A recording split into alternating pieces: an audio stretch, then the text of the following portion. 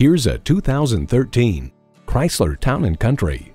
Combining family needs with premium comfort, this Town & Country is the family hauler you'll trust for the long haul. And with features like these, every drive is a pleasure.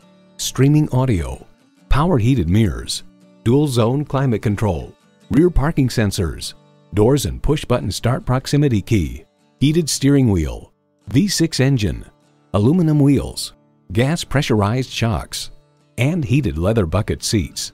New Car Test Drive reports that Town & Country is a great vehicle for families that need to haul kids and cargo on a regular basis.